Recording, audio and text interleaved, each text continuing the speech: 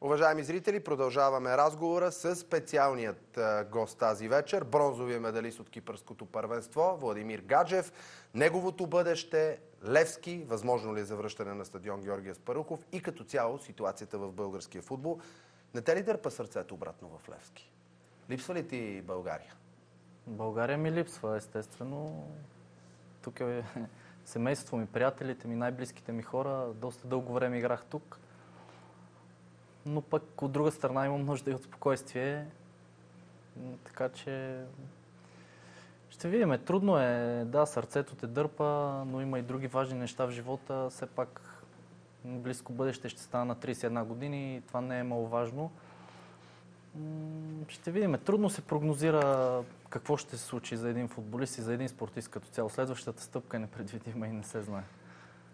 Владо, как преживя провала на Левски в финала за Купата на България, който беше поредния в последните 9 години? За съжаление, аз го преживях два пъти като футболист. Сега като зрител, Сега като път, зрител... по-лесно ли, по-леко ли беше? Напротив, не боли още повече. Тъй като гледаш любимия си отбор, подкрепяш го и не можеш да, да му помогнеш по никакъв друг начин, освен с подкрепата си. Трудно е наистина. Най-много съжалявам за Бошката Митрев, тъй като той имаше нуждата, искаше страшно много да, да спечели този трофей, тъй като и на него много му се насъбра напоследък. Надявам се хората да го подкрепят, защото той е един от малкото хора, които са там, който милее за този клуб, който обича и дава мило и драго отбора да печели, да печели трофей. Така че апелирам хората да го подкрепят в този труден момент за него, така както са го правили и с други футболисти. Трудно се приема, трудно се приема, защото наистина много загубени трофеи, финали се получиха в Левски, но другото, което мога да кажа е поздравявам отбора на Славия. Щом са спечели, победителите не ги съдят. Изиграха си матча така, както са искали, предполагам, защото то беше видно, защитавайки се 120 минути, но не това е в основата на, на, на тяхното спечелване на купата. Просто Левски не успя да вкара създадените си положения. Стигна се до Дуспи. Знаеме кой е на вратата на Славия. Феноменален вратар. Безспорно Георги Петков е страхотен и вече вратар. Бивш, и вече бивш любимец на феновете на Левски, защото... Така е, но аз говоря за вратаря Георги Вино... Петков. Виновен ли е Георги Петков за това, че Левски не си вкара положенията, после си пропусна Дуспите? Не, знаем откъде тръгнаха нещата от прословутия матч с пуснатата титла и жестовете, които той направи. Това, е, според мен това е основната причина феновете да се държат по този начин с него. Естествено, той е професионалист и иска отбора му да печели.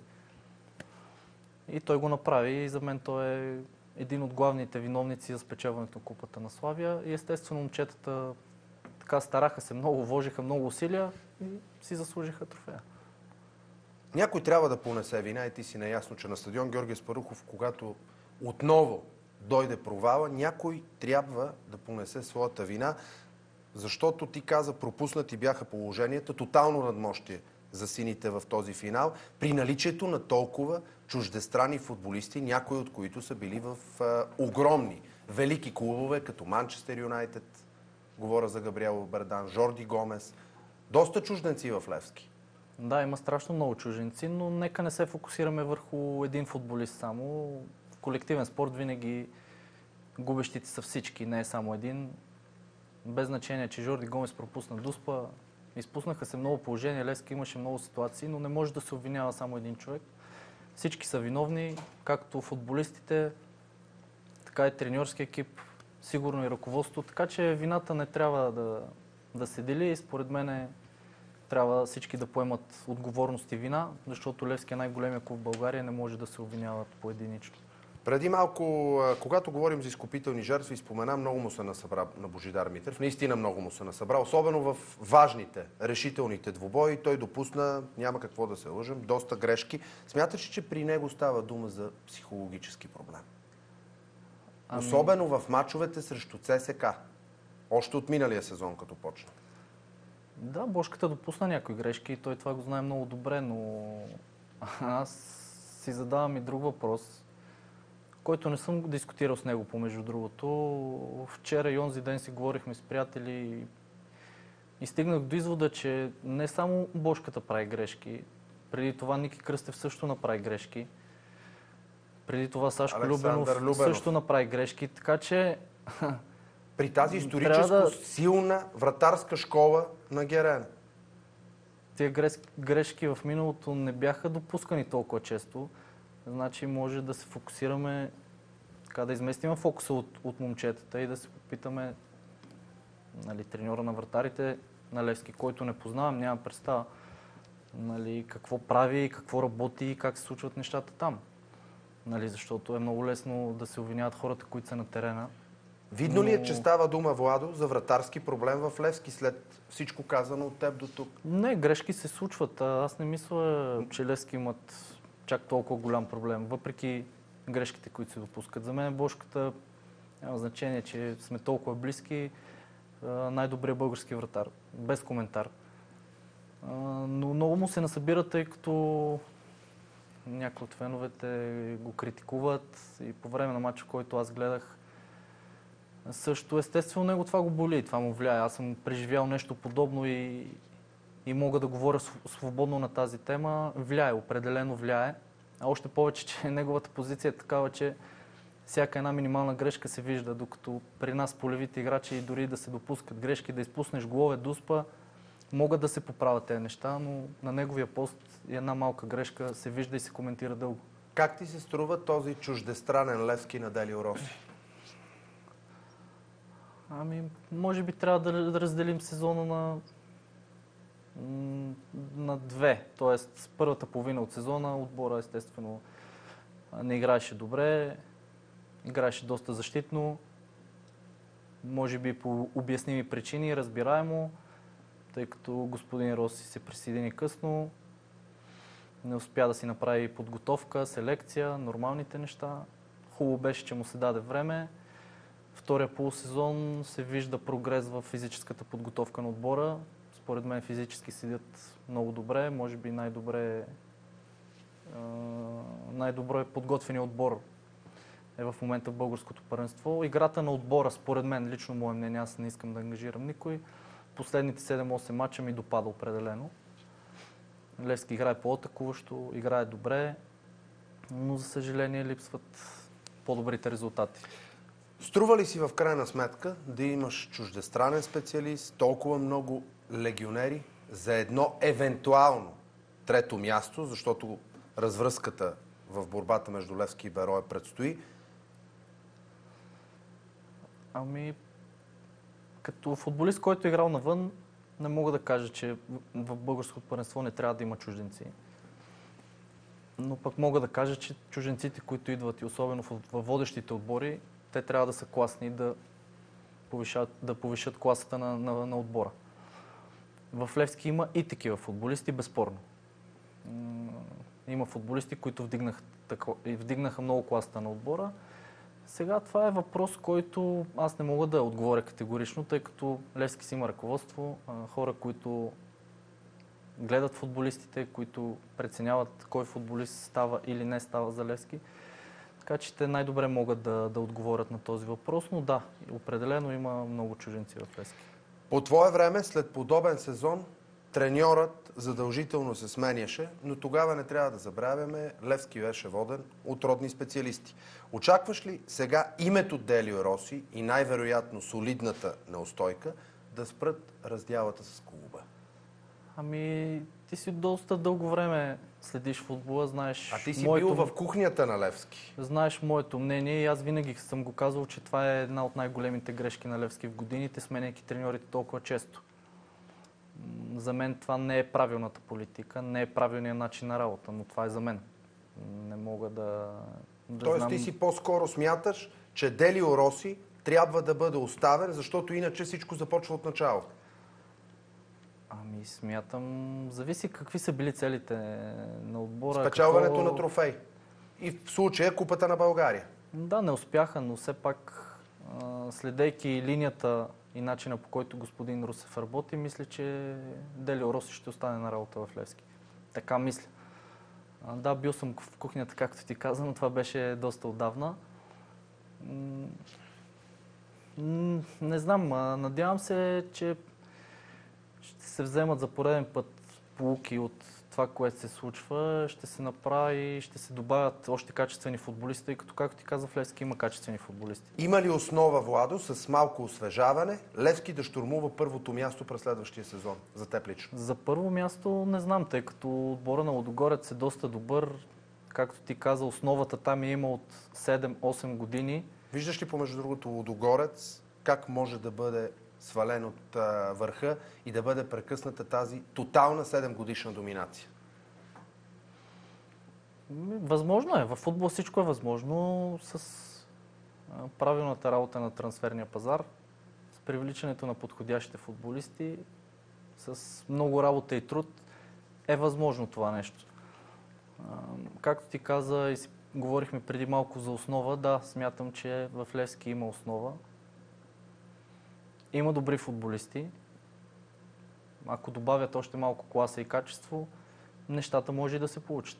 И се надявам да се получат. Как си обясняваш тази 10 годишна суша и огромно разочарование за сините фенове? Казвам 10 годишна, защото до края на май следващата година Левски не може да спечели нищо. Трудно е за обяснение. Може би ще ни отнеме много време. Много часове съм прекарал в мислене и търсене отговор на този въпрос. Много са причините. Ако трябва да бъдем честни, причините са страшно много.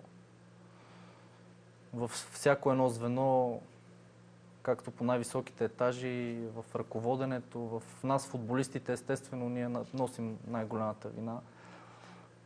Но във всяка една линия в Левски е имало проблеми и те се натрупваха с годините и нещата се осложняваха и ставаха все по-зле и по-зле. Имаше един период, в който клуба не беше финансово добре. Въпреки всичко, ние пак се опитвахме и се говореше, че имаме цел за да се борим за шампиони и купа, което това ни обременяваше и ние нямахме, нямахме, нямахме нужната класа, за да го направим това нещо и това ни затормозяваше допълнително. Имал съм много хубави години в Левски, въпреки че за 7 години и половина станах един път шампион но имах много хубави години в Левски. Последният път за Левски, 2009 година. Имахме и силни отбори, които по една или друга причина се разваляха, защото клуба не беше добре финансово и господин Батков трябваше да продава. Ако спомняте, продаде Жуазиньо зимата след Лига Европа, след това се продаде Гара Дембеле. На тяхно место не се привлякаха добри футболисти и нещата пак тръгваха от начало. Така че причините са много и са комплексни. Влади при добра оферта би ли се върнал в Левски? Както казах, в футбол всичко е възможно. Видяхте, нали, примера няма да е много точен. Неймар от Барселона отиде в ПСЖ. По незнайно какви причини. От един от най-добрите отбори в света отиваш в отбор, който те първа се опитва да, да се изгражда и няма те успехи на европейската сцена, така че в футбол всичко е възможно и само времето ще покаже. Както казах и в началото на предаването, в сигурни ръце съм с хората, с които работя, знам, че ще направят най-доброто.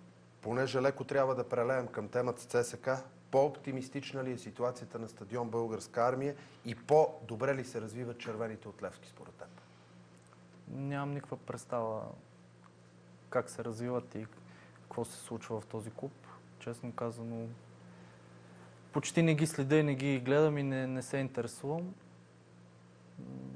Така че не, не мога да знам те как се развиват.